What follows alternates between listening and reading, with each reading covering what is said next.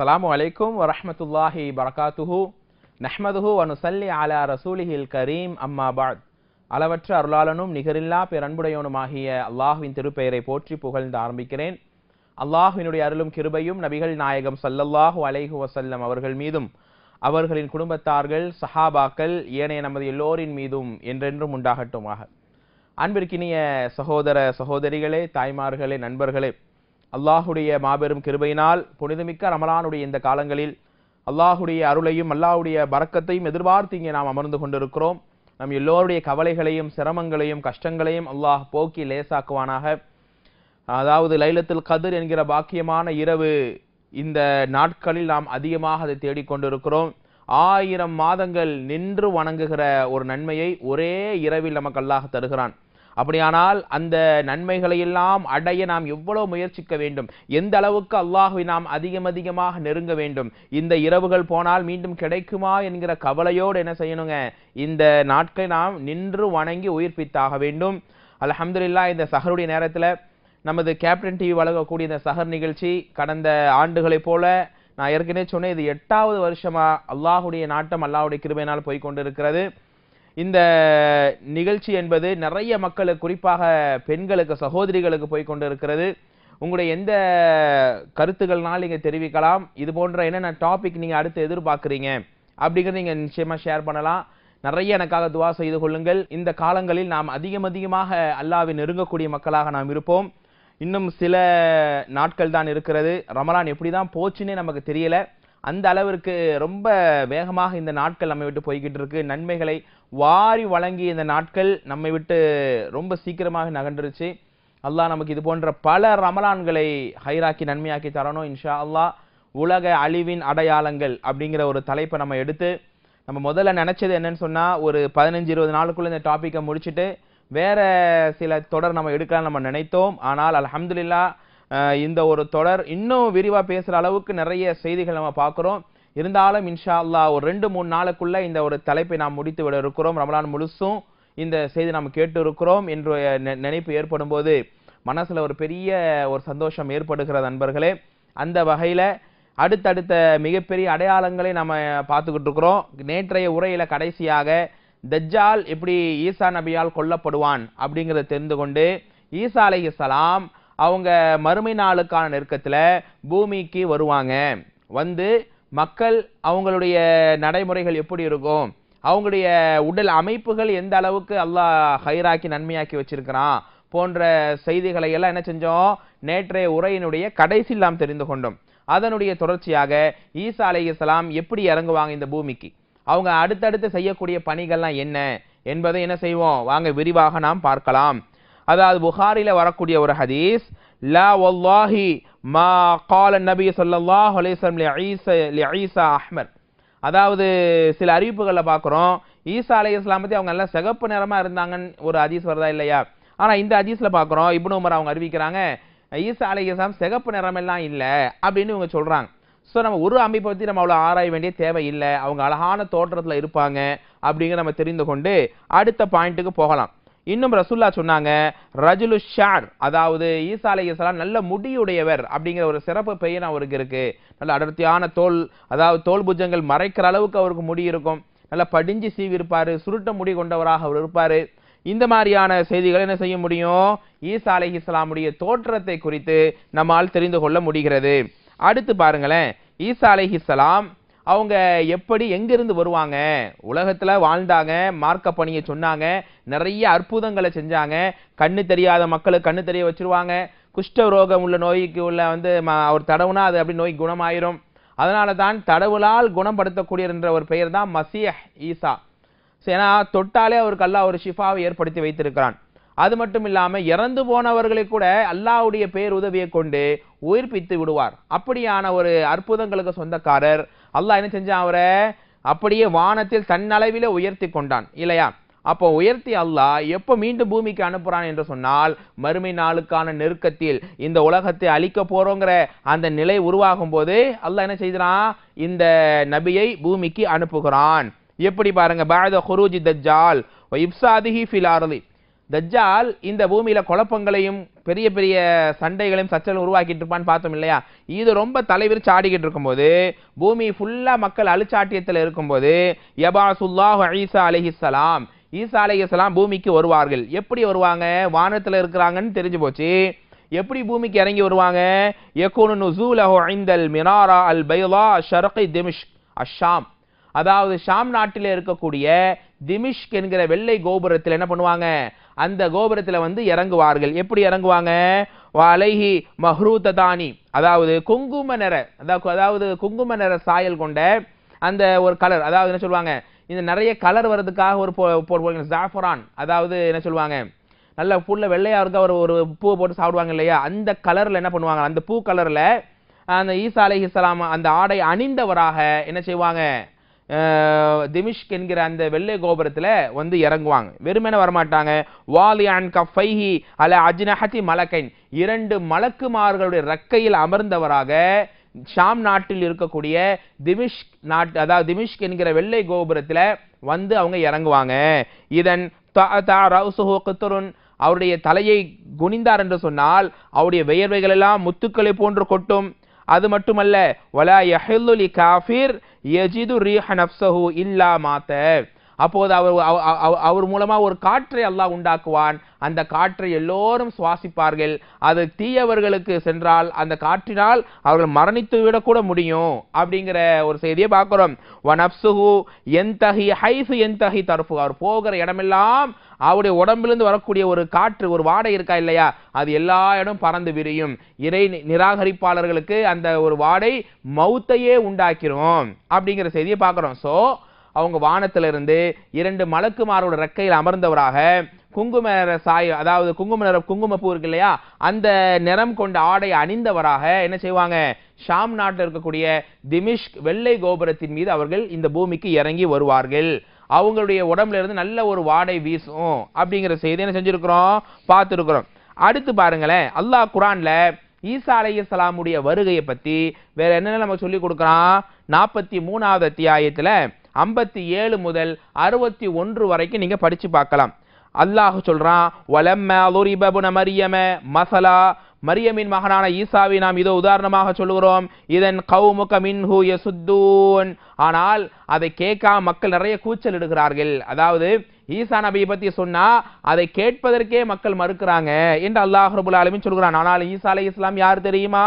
அல்லாவே குர்ஆன்ல தெளிவா சொல்றான்.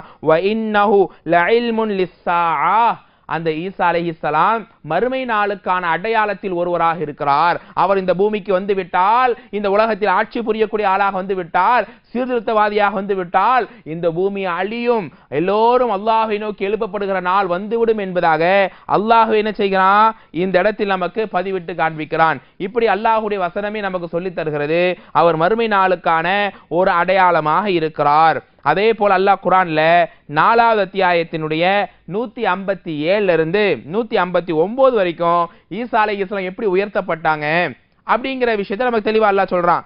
அதாவது பல் ரஃபாஹுல்லாஹு வகான அசீதன் ஹக்கீமா ஈசா அலைஹிஸ்ஸலாம் மரணிக்கவில்லை. தன்னளவில் அல்லாஹ் உயர்த்தி கொண்டான். அதாவது வகௌலிஹிம் இன்னா கதல்னல் மசீஹா மசீஹ ஈசபுன மரியம். ஈசா நபியை தாங்கள் கொன்றோம் என்ற அவருடைய வாதம் என்பது எப்படி ரசூலுல்லாஹி அல்லாஹ்வுடைய ரசூலான ஈசாவை நாங்கள் கொன்றோம் என்று சொல்வது வெறும் வாய் வார்த்தை வெறும் வாதம் தானே தவிர அது உண்மையெல்லாம் கிடையாது. ஒமா கதலூஹு அவரை அவர்கள் கொல்லவில்லை. ஒமா சலபுஹு சிலுவையிலும் அறையவில்லை. வலாக்கின் ஷுப்பிஹலகும் அது மாதிரி அவர்களுக்கு ஒரு காட்சி அல்லாஹ் உண்டாக்கினானே தவிர உண்மையிலே நடந்தது என்ன? தன்னளவில் அல்லாஹ் உயர்த்தி கொண்டான்.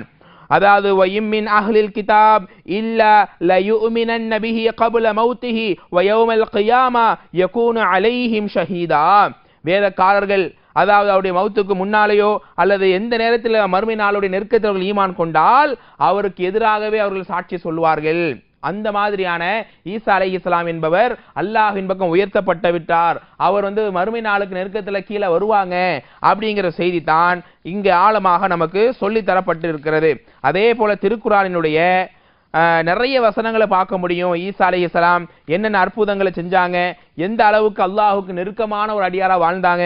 அல்லாஹ் ரபுல் ஆலமுடைய ஒவ்வொரு கட்டளைக்கும் எந்த அளவுக்கு அவங்க கட்டுப்பட்டு வாழ்ந்தாங்க? அப்படிங்கிற செய்திகளை எல்லாம் என்ன செய்ய முடியும்? இந்த வசனங்கள் வாயிலாக நமக்கு தெரிய முடிகிறது. ஆக ஈசா அலைஹிஸ்ஸலாம் மீண்டும் பூமிக்கு வருவார்கள்.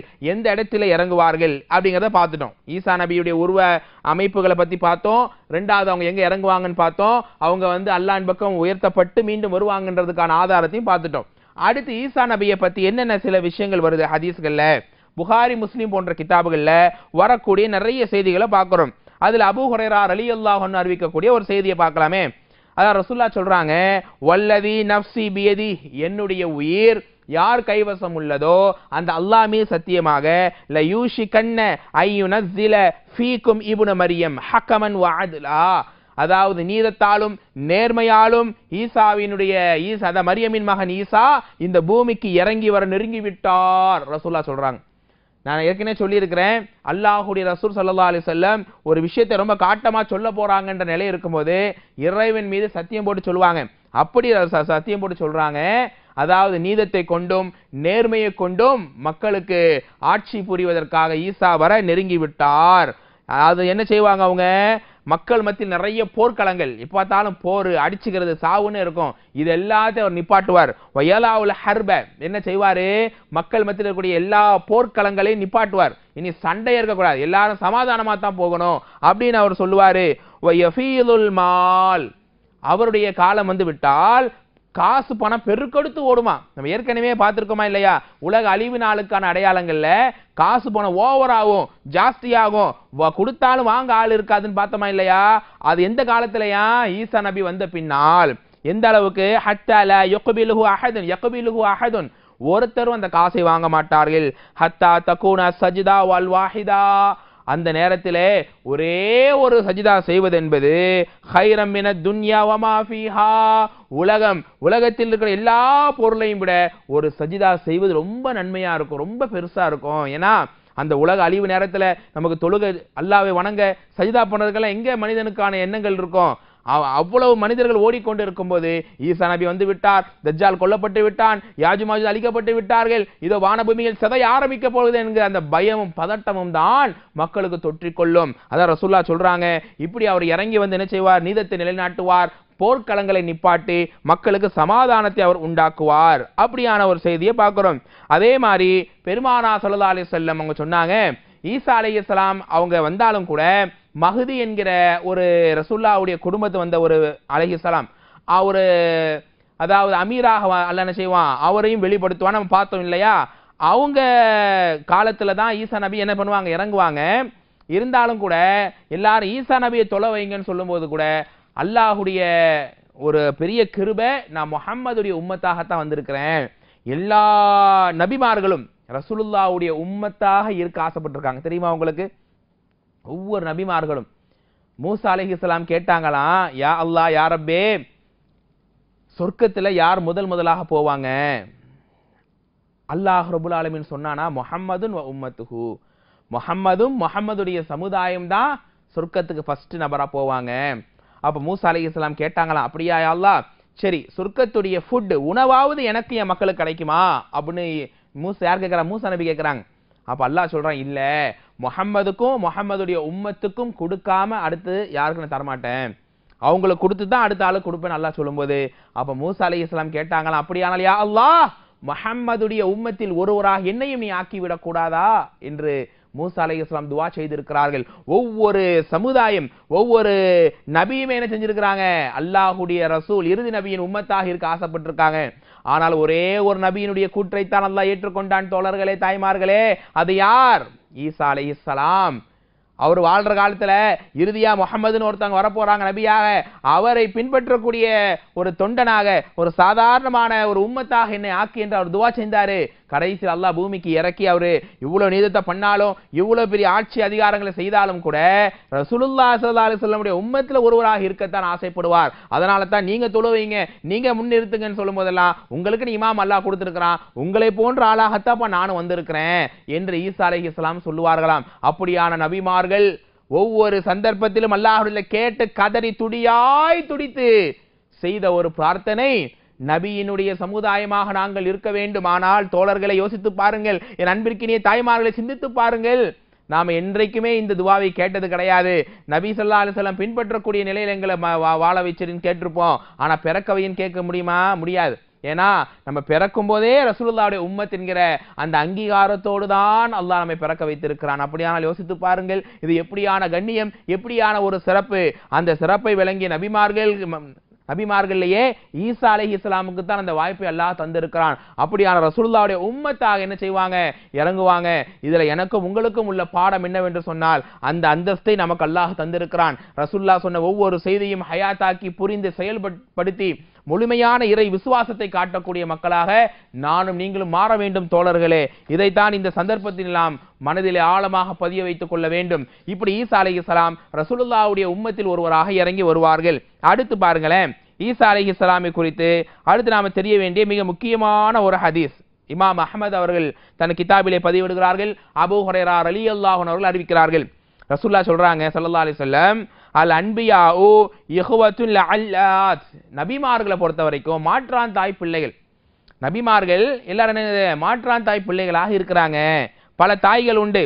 உம்மஹாத்துகும் ஷப்தா அவங்களுடைய தாய்கள் நிறைய பேர் அதாவது பல பல பேர் இருக்கலாம். ஆனா தீனுகும் வாஹித்.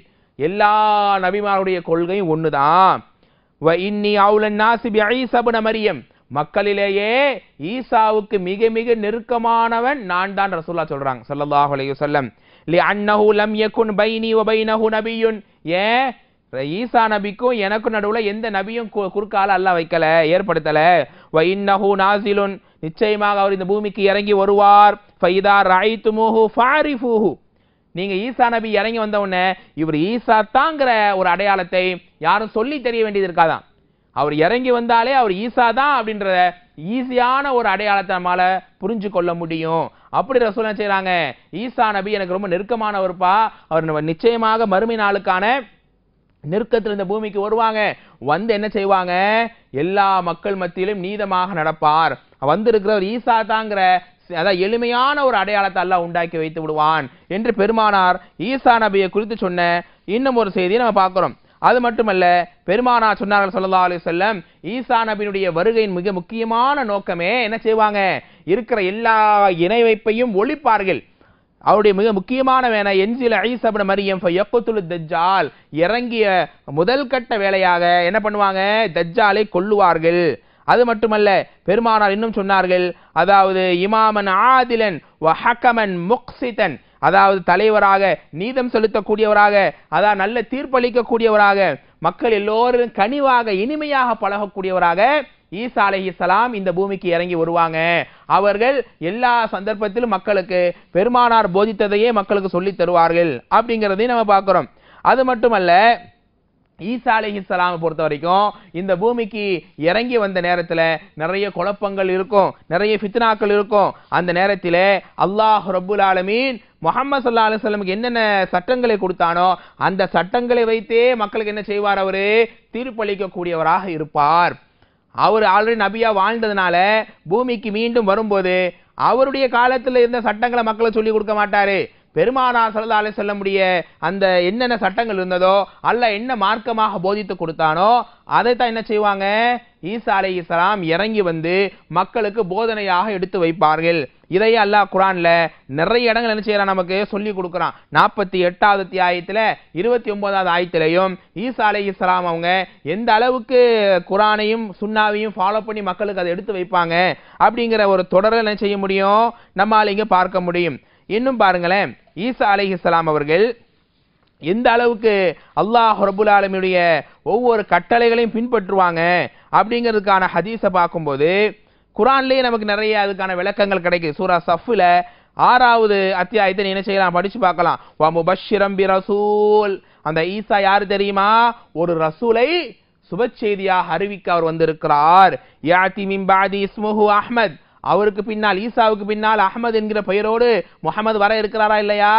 இவரை குறித்து சுபச்செய்தி சொல்லக்கூடியவராகத்தான் ஈசா நபியை நாம் இறக்கினோம் அப்படின்னு ரசூல் சல்லா அலி சொல்லமுடைய அந்த வரு வருகையை ஈசா அலி இஸ்லாம் சொல்லுவாங்க. அப்படிங்கிற மாதிரியான ஒரு ஆயத்தை என்ன செய்ய முடியுது? நம்மால இங்க பார்க்க முடியுது. அது மட்டுமல்ல ஒரு ஹதீஸில் பார்க்குறோம். யார் ரசூலுல்லாஹ் சஹாபாக்கள் சொல்கிறாங்க அஹ்பிர்னா அன் நப்சிக்க உங்களை பற்றி எங்களுக்கு இன்னும் கொஞ்சம் சொல்லி கொடுங்க. உங்களுடைய சிறப்புகள் தனித்தன்மை இன்னும் நாங்க தெரிஞ்சுக்க விரும்புறோம் அப்படின்னு சஹாபாக்கள் கேட்கும்போது ரசூல்லா சொன்னாங்க. ஆ ஆனால் ஆனா தாவத்து அபி இப்ராஹிம். அதான் என்னுடைய தந்தையான இப்ராஹிமினுடைய அழைப்பை ஏற்று நான் வந்திருக்கேன். அவங்க என்ன தாவா செஞ்சாங்களோ அதே நிலையில் நான் வந்திருக்கிறேன். மேலும் புஷரா அஹி ஈசா என் சகோதரர் ஈசாவினுடைய சுப செய்தியாக என்னை பற்றி அவர் சுப செய்தி சொன்னாரு? அந்த சுப செய்தியாக நான் வந்திருக்கிறேன். என்ற ஈசா நபியை எப்போதுமே அல்லாஹுடைய ரசூல் தன்னோடு என்ன செய்வாங்க? ஒப்பிட்டு அவங்க சொல்லி கொடுக்குறாங்க. அதை நம்ம என்ன செய்கிறோம் பார்க்குறோம். அது மட்டுமல்ல ஈசா இஸ்லாம் அவர்களுடைய இன்னொரு சிறப்பை குறித்து பெருமானா சொல்றாங்க பாருங்க சல்லா அலி சொல்லம் அவங்க இந்த பூமிக்கு இறங்கி வந்து தொழுகுவாங்க உம்ரா செய்வாங்க ஹஜ் பண்ணுவாங்க. அப்படி அவங்க ஹஜ் செய்யக்கூடிய ஒரு முறையை பற்றி ஹதீஸில் வருது. பாருங்களேன். முஸ்லீமில் வரக்கூடிய ஹதீஸ் அதாவது ஹல்லலா அல் அஸ்லமி ரலியல்லானவங்க அறிவிக்கிறாங்க. சமியத் அபா ஹுரேரா ரலியுல்லாஹனு அபு ஹுரேரா சொல்ல நான் கேட்டிருக்கிறேன். அபு ஹுரைரா சொல்றாங்க ரசூல்லா சொல்ல நான் கேட்டிருக்கிறேன். வல்லதி நப்சி பியதிஹி. என்னுடைய உயிர் யார் கைவசம் உள்ளதோ அந்த அல்லாமே சத்தியமாக. என்ன சொல்றாங்க? ல யுஹில்லன்ன இப்னு மரியம். அதாவது பி ஃபஜ்ர் ரௌஹா. ரௌஹா என்கிற பகுதியில் ஈசாவின் மகன் மரியமின் அதாவது மரியமின் மகன் ஈசா என்ன செய்வாங்க? தகலில் சொல்லுவாங்க லா இலாஹா இல்லல்லா என்ற வார்த்தையை சொல்லிக் கொண்டே இருப்பார்கள். யார்? ஈசா நபி. இந்த ரவுஹாங்கிற இடம் எங்க இருக்குது? மக்காவுக்கும் மதினாவுக்கும் நடுவில் இருக்கக்கூடிய ஒரு பகுதி தான் ரவுஹா என்பது. ரசூலா அலி செல்லம் பதிலுடைய போர்க்களத்துக்கு போகும்போது என்ன செஞ்சாங்க? இந்த இடத்தையெல்லாம் கடந்து போயிருக்கிறாங்க. அப்போ என்ன செய்வாங்க? இந்த இடத்துல வந்து என்ன செய்வாங்க? அதிகமாக ஈசா அலைஹிஸ்ஸலாம் மறுமை நாளுக்கான நெருக்கத்தில் லா இலாஹா இல்லல்லா என்ற தகலில் சொல்லுவாங்க. மேலும் ஹாஜம் அவு முஅத்தமிரன் செய்யக்கூடியவராக உம்ரா செய்யக்கூடியவராக அவர் என்ன செய்வார்? மக்காவை நோக்கி வருவார். அது மட்டுமல்ல அவு ல யுசன்னி என்னஹுமா ரெண்டையும் தனித்தனியாகவும் செய்வார் சேர்த்தும் செய்வார். ரெண்டு சேர்த்து செய்யக்கூடியவராக ஐ எஜ்மா பைனல் ஹஜ் அவல் உம்ரா. ஹஜ் உம்ரா சேர்த்து செய்வதற்காக தகலீல் பண்ணி என்ன பண்ணுவார்? லா இல்லா சொல்லி அந்த ரவுஹா என்கிற பகுதிக்கு அவர் வருவார். இப்படி என்ன செஞ்சாங்க? அவர்கள் உம்ராவையும் ஹஜ்ஜையும் செய்யக்கூடிய ஒரு நிகழ்வை குறித்து அல்லாஹுடைய ரசூல் ஒரு அறிவிப்பை நமக்கு சொல்லி கொடுக்குறாங்க. இன்னும் பாருங்களேன் ஈசா அலைஹிஸ்ஸலாம் வந்ததுக்கு அப்புறமா நம்ம ஏற்கனவே சொன்ன நிறைய குழப்பங்கள் இருக்கும் நிறைய ஃபித்னாக்கள் இருக்கும் நிறைய மக்கள் மத்தியில் வந்து சண்டை சச்சரவுகள் இருக்கும் தஜ்ஜாலுடைய ஃபித்னா ஒரு பக்கம் இருக்கும் யாஜுஜ் மாஜுடைய குழப்பங்கள் ஒரு பக்கம் இருக்கும். இப்படியே மக்கள் வந்து தடுமாற்றத்திலையும் சிக்கல்கள்லையும் இருக்கும்போது ஈசா அலைஹிஸ்ஸலாமுடைய முழுமையான வேலை என்ன செய்வாரு? இன்திஷாருல் அம்னு வ லுஹூருல் பரக்காத் ஃபி அஹதி அலைஹிஸ்ஸலாம் ஈசா நபி காலத்தில் நிறைய பரக்கத் அல்லாஹ் நினைச்சு பறக்கத்தை வாரி கொட்டுவான். எந்த சமுதாயத்துக்கும் இல்லாத அளவிற்கு பெரிய பொழிப்பை அல்லாஹ் உண்டாக்கி தருவான். மேலும் பாதுகாப்பை அல்லாஹ் வெளிப்படுத்துவான். ஹதீஸை கேளுங்கள். பெருமானார் சொன்னார்கள் சல்லா அலி சொல்லம் சும்ம யுர்சிலுல்லாஹு மதரன். அல்லாஹ் நினைச்சவன் ஈசா நபி வந்ததுக்கு அப்புறமா ஒரு நல்ல மழை அல்லாஹ் தருவான். லா யுக்கின்னு மின்ஹு பைத்தல் பைத்த மதரின் வல ஒபரின் அதாவது எந்த ஒரு வீட்டுக்குமே அந்த மழையால பயன் இருக்காது. எந்த அளவுக்குன்னு சொன்னா மழை பெய்யும் ஆனால் அதில் எந்த விதமான பயனும் இருக்காது.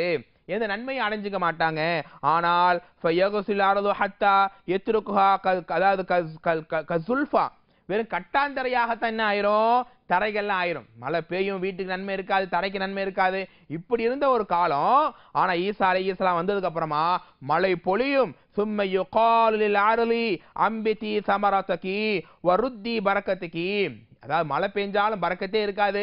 மழை பெஞ்சாலும் இந்த புல் பூண்டு முளையாது.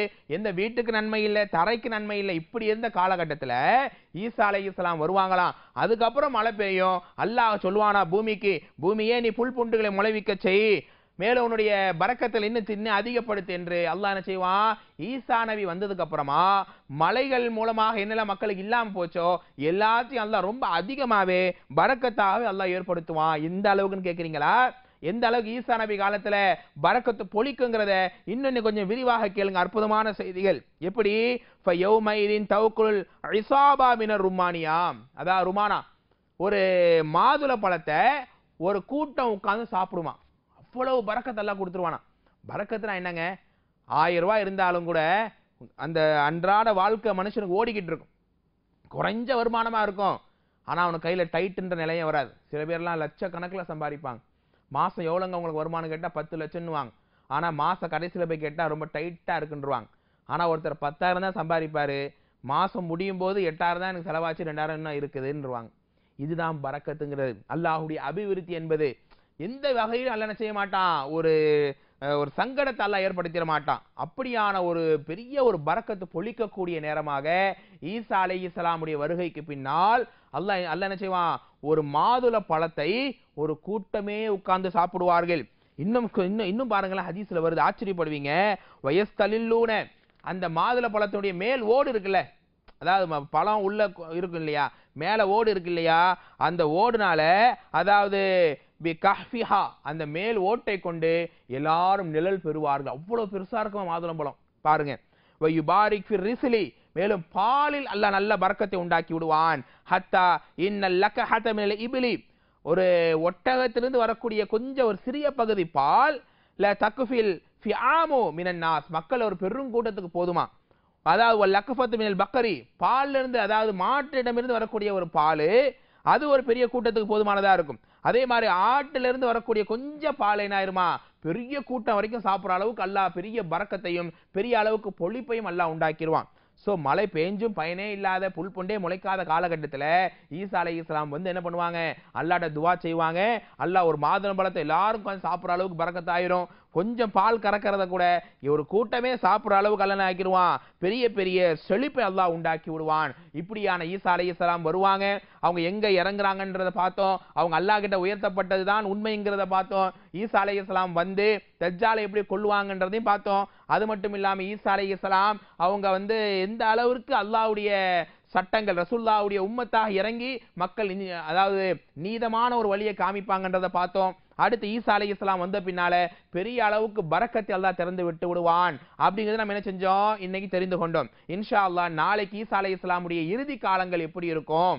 அதுக்கு பின்னால் யாஜுஜ் மாஜூஜ் என்பவர்கள் யார்? அவங்கள எப்படி ஈசா அலி இஸ்லாம் கொன்றாங்கன்றதை பார்த்துட்டு அடுத்தடுத்த இன்னும் சில அடையாளங்களோடு இன்ஷா அல்லாஹ் இந்த தொடர் முடிய இருக்கிறது. எனவே இந்த ஹதீஸ்களை எல்லாம் இந்த ஆயத்துக்களை எல்லாம் படிக்கும்போது மறுமை நாளை நாங்கள் நெருங்கி விட்டோம் இன்னொன்று இதெல்லாம் ரசூலா சொல்லியிருக்கிறாங்க. கண்டிப்பாக நடக்கும். அல்லாஹுடைய ரசூலை பொறுத்த வரைக்கும் எதையுமே மனசுல உதித்ததை சொல்லக்கூடியவர் அல்ல. அவர்களால் உருவாக்கப்பட்ட வேதம் அல்ல இந்த குர்ஆன். இது அல்லாஹுடைய வார்த்தையாக இருக்கிறது. வமா என்திக்கு அனில் ஹவா? வமா என்திக்கு அனில் ஹவா? இன்ஹிய இல்லா வஹ்யு யூஹா. நிச்சயமாக மனதின் படி பேசக்கூடியவர் அல்ல இந்த நபி. எல்லாம் அல்லாஹுடைய தூது செய்தியாகவே இருக்கிறது. ஆக அந்த அடிப்படையில் இந்த முன்னறிவிப்புகள் இந்த அடையாளங்கள் எல்லாம் அல்லாஹுடைய ரசூல் அல்லாஹுடைய நபியாகத்தான் இருக்கிறாங்க. மார்க்கத்தை சொல்லத்தான் வந்திருக்கிறாங்க. இந்த மார்க்கம் சத்திய கொள்கை கொண்ட மார்க்கம் என்கிற அந்த அடிப்படையான சில உணர்வுகளை இந்த தலைப்பின் வாயிலாக நாம் புரிந்து கொள்கிறோம். இனியும் தயாராகுங்கள். ரமலானுடைய இன்ஷா அல்லாஹ் இன்ஷா கடைசி நாள் வரை இந்த தொடருடைய இறுதியை நாம் கேட்க இருக்கிறோம். எனவே இந்த கடைசி நாட்கள் இருக்கிற நாம் ரமலானுடைய இந்த முக்கியமான நாட்கள் இருக்கிற நாம் அதிகம் அதிகமாக அல்லாஹிடத்திலே பிரார்த்தனை செய்து மன்றாடி கதறி உலகத்தினுடைய எல்லா மக்களுக்கும் அமைதி நிலவ வேண்டும். எல்லோரும் கடன் இல்லாமல் பிரச்சனை இல்லாமல் நோய் நொடிகள் இல்லாமல் குடும்ப சங்கடங்கள் இல்லாம மன நிறைவோடு வாழ்ந்து இம்மையிலும் மறுமையிலும் எல்லா விதமான சந்தோஷத்தை அடைந்து நம்ம துவா செய்து கொள்வோம். அப்படியான இம்மை மறுமையினுடைய எல்லா நன்மையும் அல்லாஹ் நமக்கு தந்து ஜன்னத்துல் ஃபிர்தௌஸிலே உலா வருகிற சிறந்த உயர்ந்த வாய்ப்பை நம் ஒவ்வொருவருக்கும் தந்து அருள் புரிவானாக. வாஹிர் தஅவானானில் அல்ஹம்துலில்லாஹி ரபில் ஆலமீன். அஸ்ஸலாமு அலைக்கும் வரஹ்மத்துல்லாஹி வபரகாத்துஹூ.